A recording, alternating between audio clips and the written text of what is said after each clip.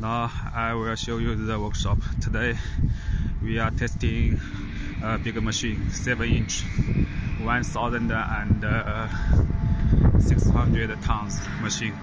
You see here, uh, here is material.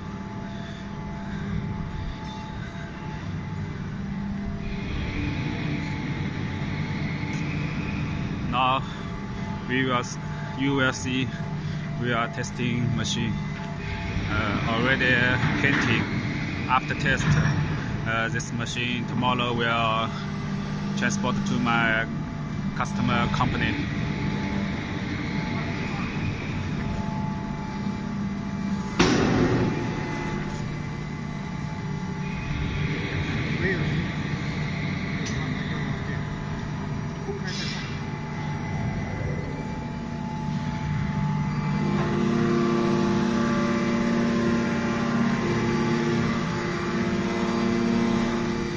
just finished painting.